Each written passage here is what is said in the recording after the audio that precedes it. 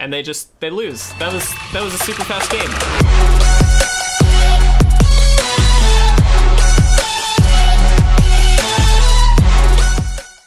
What's going on, guys? If you want to support our content and pick up this month's amazing Patreon rewards, you can do so at patreon.com slash it resolves.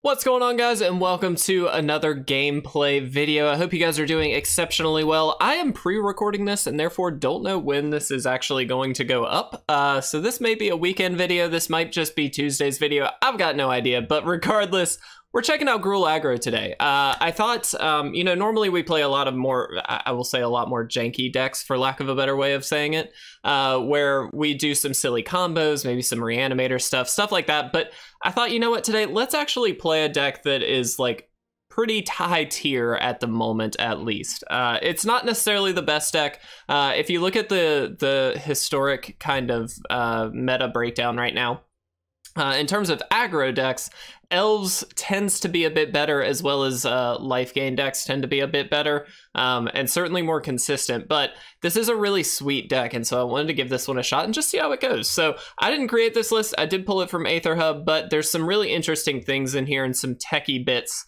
uh, that we'll kind of talk about as we go through. In the one drop slot, we do have Llanowar Elf to help ramp us into that three drop slot as quickly as we can. And then Pelt Collector, which is obviously going to get stronger and stronger throughout the game. Kind of a must answer uh, on the opponent's end. In the two drop slot, we've got Burning-Tree Emissary, which is allowing us to essentially double our mana uh, to allow us to, not double our mana, but basically channel that mana into more stuff. Uh, and so on turn two, if we can Burning-Tree Emissary and then brawler or uh, you know play the satyr here whatever it might be uh, we can essentially just get more stuff down quicker with it. Uh, and especially in tandem with Llanowar Elves we can do a lot. Uh, Scavenging Ooze's here. Um, provides us a little graveyard hate, which is nice. It also gives us some life gain, so there's a lot of upside to Scavenging Ooze. And then Shatterskull Smashing is in here, of course, is either removal or a land. It can be either one, uh, and is obviously a really nice utility to have. In the three-drop slot, we got Bonecrusher Giant, uh, Rampaging Ferocidon to stop a lot of those life gain decks. This is a massive, massive uh, game ender in those circumstances, unless, of course, they have something like Banishing Light. Uh, Kazandu Mammoth, either a land or obviously a big beater, and then Gruul Spellbreaker, which can really punch through some damage and is generally difficult to deal with as well. Klothys is here as a bit of a tech card. Uh, it does allow us to basically exile a card from graveyard, uh, from any graveyard, and then either add that as mana or gain two life and deal two life, which is kind of nice. Uh, in the four drop slot, we've only got two collected company. I find that a bit odd, but it's okay. We also have two questing beasts, and this card is obviously ridiculously good in most matchups. It's just very powerful. Goldspan Dragon sitting here at five. Uh, again, only a two of. A lot of two ofs in this version. Um, and then, of course, Embercleave sitting at the top with three. We do have Ramunap Ruins here as a way to deal a little extra damage, but overall, that's about it. It's a really straightforward list with a few techie pieces. Uh, it does have a sideboard, but obviously, we're playing best of one. We don't have to worry about that. So let's see how this one goes. We're going to jump into three games, and hopefully, hopefully, we can get some wins with this one. All right, guys, here we are for game number one. And honestly, this is about as good a start as we could hope for. We have the, the Pelt Collector turn one. We can Burning-Tree Emissary turn two, uh, play that out, and then maybe use the Stomp side of Bonecrusher Giant to hit something along the way. So this is about perfect. Uh, I, I don't think I would change anything about this hand other than the fact that maybe a different uh, card other than Collected Company. Coco is very good, don't get me wrong, but uh, obviously in the early turns of the game, we're not going to get to play it. So it is what it is, but regardless, this should be a very interesting game. Let's go ahead and play out that Pelt Collector and see what our opponent has. Hmm. Excuse me, I had a little burp there. Um, all right, looks like Adventures, uh, which is certainly an interesting one. Uh, let's throw this out. Uh, and you know what? I think we're gonna go kind of aggro-y here. Um, we are gonna waste one of that mana, and that does unfortunately happen from time to time, but I think just spreading the board out here a little bit is gonna give us a really good chance of at least punching through some damage. Uh, Lovestruck Beast is certainly the worry, uh, as this is obviously a very, very good card uh, against us, but that's okay we should be able at least uh, to, to punch through some damage. So the question becomes if we if we just throw out the the Bonecrusher Giant we can actually power up our cards enough that it's going to be difficult for them to really do a lot. So i think i'm actually in the camp of just doing that. Next turn we obviously have coco as well which can do wonders uh, against a, a deck like this. So we're just going to try and be as aggressive as possible. In this instance we just don't want to give them the time that they could normally get to uh to get all of you know these really powerful Lovestruck Beasts things like that down. Um curious to see how they block here actually. Okay. Interesting. I mean they do have a black or a red up here so okay. Wow. Very good. Very good by the opponent. Um certainly a really well maneuvered play there a great way to kind of get some some uh, stuff off the board here but truthfully I don't know how good or bad that might be. If they have another Lovestruck Beast in hand, it's certainly not bad, but they now don't have a great option this turn. Uh, and we also just have Embercleave up. So something we should definitely do is just attack in here. Oh crap, well, that's okay. Uh, well, Collected Company, uh, I, I expected them to block actually, so that was just kind of surprising. Um, but that's okay. This is kind of perfect because now we just collected company uh, and hopefully get some really good stuff. Brawler is not bad as well as Pelt Collector. Um, this is going to obviously power this one up a little bit. That's good. And now we just attack in. Uh, yeah. We just attack in. Um, sure, I'll take that action. We'll see what they want to do in terms of blocks. Uh, that's fine. We're gonna Embercleave. And we're gonna just throw that on here. It doesn't really matter because we're dealing enough damage to kill them here. And there we go, easy win. Uh, wow, good start from Gruul Aggro. So let's go ahead, like I said, three games. So we're gonna go ahead and jump into game two and see how we do. All right, guys, here we are for game number two. We actually uh, started another one and the opponent gave up before we even got to accept our hand. So uh, we're gonna go with this one. And this is a slow-ish hand, but I think it's worth keeping. Uh, we've got a very strong turn two, obviously, so I'm not terribly worried about um, what the opponent might have. Black-red, that's a little scary. They could certainly... Ah, shrines. Oh, good. Oh, how fun. All right, well, here it goes. Uh, all right, so we're to Burning-Tree Emissary first. It's to give us Brawler mana, which we're to get in for.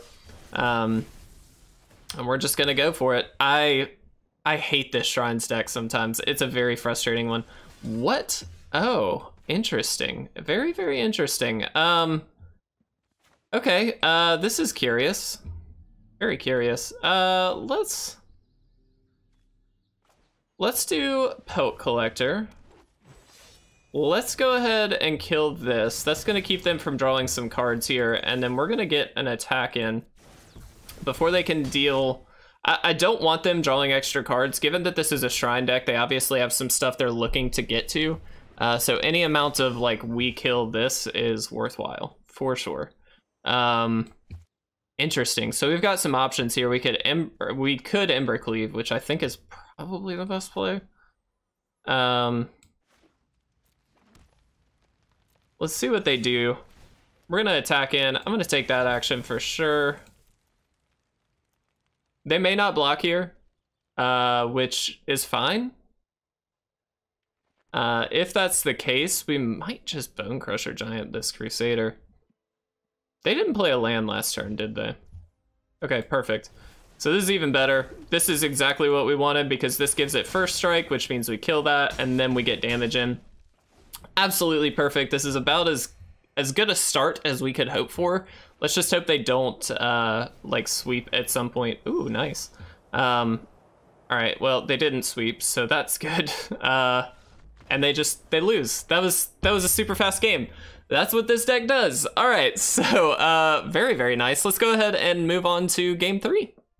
All right, guys, here we are for game number three. Uh, I honestly don't love this hand very much. Um, if this is a life gain deck, I'm going to hate myself for doing this, but we're actually going to mulligan. And this is actually a lot better. Uh, we're going to put a Mammoth back here. This is going to allow us to do a lot more early on, uh, whereas previously we just couldn't, unfortunately. So, all right. Uh, looks like potentially elves. Uh, that's interesting. Um, let's get you down, and let's just get the mammoth down. Uh, this is a very strong turn to play because it's obviously an above average creature that's going to get even more above average next turn. Uh, and so, very, very strong for sure. Curious to see what they actually have here. This could be elves. This also could just be mono green stompy. I mean, it could be a lot of different stuff. Um, okay, nope, definitely elves. Definitely, definitely elves. Uh, all right. With that being the case, um, I think the play is to drop this for sure. We're gonna drop this. Uh, I'm gonna auto pay with these. And then we're gonna attack him with both of these. If they trade here, that is all the better for us, but it looks like they're not willing to. They could have so much coming down this turn. Uh, we have no idea how good this could be. So we'll see. Uh, but we're gonna try and get as much damage in as we can. So now they have three, four mana still. Uh, any any one mana creature essentially costs zero for them thanks to the Archdruid. I mean that's pretty ridiculous. Um, again, essentially costing zero mana. They now have one, two, three, four, five. Uh, that's very good. Honestly, a land off the top isn't the end of the world. Um, although a collected company might be best. Oh, interesting. Okay. Uh, Beast Whisperer is very good, so that kind of makes sense. Um, ooh. Oh, that's very helpful. Um, all right, we're taking the opportunity before they can do anything to kill this. Um, that not only drops their creatures, obviously, but just it it gets the man off the field, man. And like we have to do that, uh, honestly. I think we just attack with the mammoth um, and if they want to double block, they can, but it looks like they don't, which is fine. Um, so now they have four mana available. They don't have like the crazy amount that they would normally have with the Arch Archdruid. And they got another Beast Whisperer. I mean, that's good, but it's not it's not helping them end the game quite yet, which is certainly a positive. The Mammoth is going to get bigger here. That's very good. We're going to Riot with the 1-1 counter, I believe. Yeah. We're gonna attack with these two. Uh, happily taking this action just so they do have to double block it if they want to kill it. Uh, and the Mammoth is obviously getting through for some amount of damage. This does have trample, so... Or does it? No, excuse me. Does not have trample. For some reason I thought that did get trample when you uh, plussed it, but that was just a mistake on my end, no problem getting some stuff off the board. They are, I mean, we have to be very careful because eventually they can just activate this, uh, which is a lot of of power. So we got to be very careful here. We kind of need to win the game like this turn. I don't know how we're going to be able to do that. Um, let's see what they can do. Ooh, Reese. Very cool. Um, is this is, I mean, Elves is a very good deck, obviously, uh, and so it's really cool to see it in action, doing what it's meant to do. I like that. Um, all right, so we can activate this. So we, I think we just need to try and like somehow, we just can't. These Beast Whisperers are just too good. Um, I think we just attack here. Uh, I guess we could have also attacked with the Brawler. That would have made sense. Uh, but that's okay. They are going to double block, that's fine. They'll take one of them out. Uh, we will drop Voltaic Brawler. And we'll drop Bonecrusher. Um, yeah, so if we had attacked with the other Brawler, there was a chance, if they had let that through, then we could kill them with the Ramunap Ruins, but I think that they're aware of that. I don't think that that's a surprise to them, so I'm I'm thinking that that's not going to be a, uh, a viable out for us. Um, I truthfully don't think we have a viable out right now. I think we are just dead. Um, yeah, this is the the power of elves. I mean, we said it at the beginning. It's one of the best aggro decks, if not the best aggro deck in historic, and you can clearly see why. Um, I mean, look at all this stuff. It's got the engine with the Beast Whisperer going. Uh, it's got multiple uh, channelers here, or Clancallers, excuse me, that are are pumping up the entire team. I mean, I think we're just dead. but uh, we we play it out, right? We play it out. Um, There is a world where they hold back for a turn, but it looks like they're not going to. Okay. Well, what do we do? How much can we take? 3, 4, 5, 6, 7, 8, 9, 10, 11, 12, 13, 14, 15, 16, 17. So we do have to block two things, it looks like. Um, those two things can be Rees for sure. Uh, and I think you. Or let's see 8 9 10 11 12 13 14 15 so it could just be this just to get the shepherd off the field. And then we're down to two. Um and i mean we're pretty dead. Like yeah. Uh interesting. Okay. I mean we just go for it. Uh take action. Yeah, sure, why not? Uh, can't really hurt anything at this point. Um, all right, let's see what they do. So they're aware, obviously, that the Ramunap Ruins is a win for us, so they're not letting that through, uh, which means we definitely lose. So I am gonna go ahead and concede here. Let's uh, let's take a minute to talk about this though, because this is an interesting one. All right, so let's talk Gruul. Uh, Gruul is a very interesting strategy in my opinion because it has a lot of the the aggro elements and the like fast creatures that Elves does, but obviously not to that extent.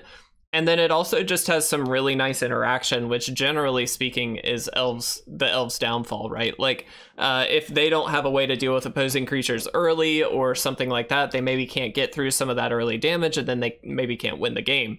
Whereas with red, we have a lot more interaction with things like uh, Bonecrusher Giant, with things that shut down the life gain, like the Marauding Raptor, um, and just some really cool, fun tactics, which Elves does get, like Coco.